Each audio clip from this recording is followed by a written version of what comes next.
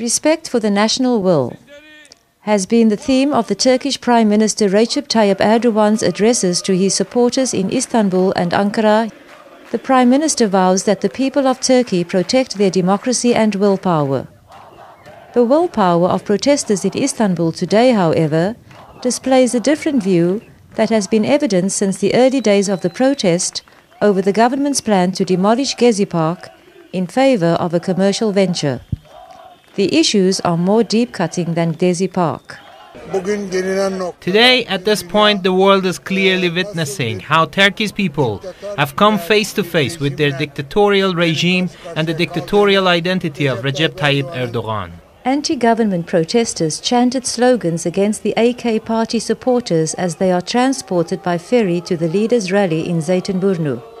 Ferries from Kadıköy on the Asian shore of the Bosphorus Strait are redirected to Kabataş on the European shore instead of the scheduled Beşiktaş route. But anti-Erdogan slogans reverberate unabated.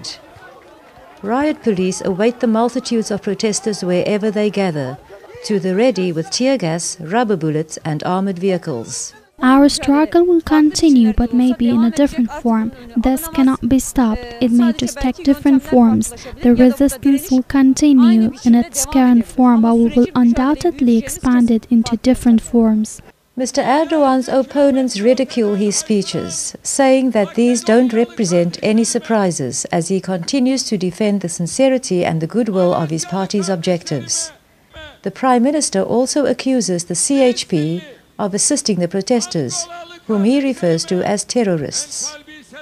Government of the AKP uh, will be gone from Turkey, uh, I think, and this the the protesters uh, wants their freedom, and protesters uh, want uh, does, don't want uh, AKP government.